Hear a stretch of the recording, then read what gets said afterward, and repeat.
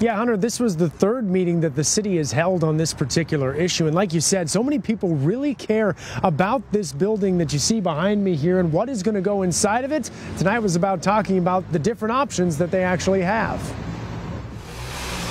On the corner of 28th and Logan sits a community cornerstone. It's a demolition by neglect. The old Logan Heights Library closed its doors back in 2009, and over the past 13 years, the 1920s era building has fallen into disrepair. The windows are all broken, the roof is leaking, it's been vandalized many times, so we just want to see it, we want it to be brought back to life.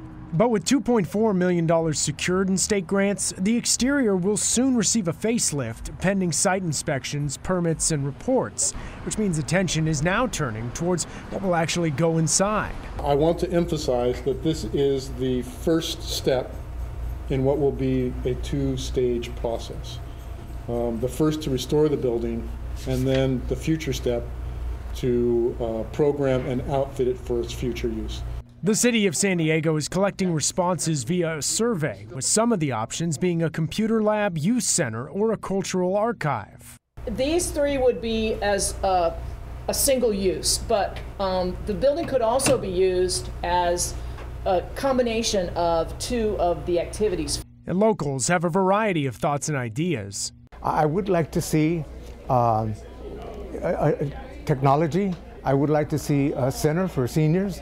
It could be used for uh, an archive museum, uh, meeting space. It could be used for um, uh, community gatherings. But one thing is clear We have to have the big picture in mind. they want a new space filled with the legacy of Logan Heights. We'll be gone. The youth is here. Uh, what did we leave? What is our legacy as Logan Heights people? That is the question that many are asking. And if you want to weigh in on what should be put inside this old building here in Logan Heights, you can still do so. The survey is open until December 15th, so you got eight days or so. And once the city's been able to tabulate the findings and all the different votes, we should have a much better picture of what is actually going to wind up inside in the coming days. Hunter? All right, Matt, it's so good to see so many people involved in something like this. They just want to make mm-hmm. sure it's being utilized in the way that it should. That's right. We will continue to track it. All right, Matt Pritchard live for us there in Logan Heights. Thanks, Matt.